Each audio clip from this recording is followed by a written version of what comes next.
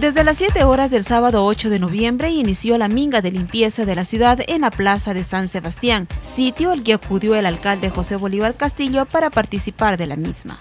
Pero lo que quiero es llamarles la atención a que todos hoy día mejoremos nuestro entorno. Por lo menos el entorno de la casa, la fachada, mejoremos la fachada, la portal, la vereda, los pilares, los balcones, y veamos un poquito más allá. Veamos también con los otros vecinos qué es lo que pasa con el parquecito donde juegan nuestros hijos, la canchita donde hacen deporte nuestros muchachos. Y entonces le peguemos una mano a la ciudad. Como la plaza de San Sebastián es el icono de la independencia, se realizó una jornada especial en el lugar. Con la empresa Riovac se limpió todo el parque con máquinas a presión y vapor.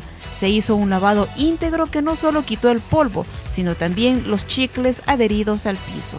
Con el fin de constatar el civismo ciudadano, se hizo un recorrido por la ciudad y se llegó hasta el barrio Víctor Emilio Valdivieso, más conocido como Tierras Coloradas, en donde sus habitantes con herramientas en mano colaboraban en el asentamiento de sus casas y áreas verdes.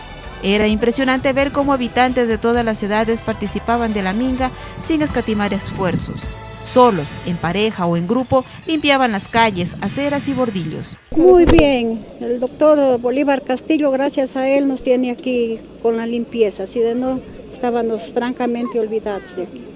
Quizás así todas las veces salga las minguitas para tener nuestro barrio limpio.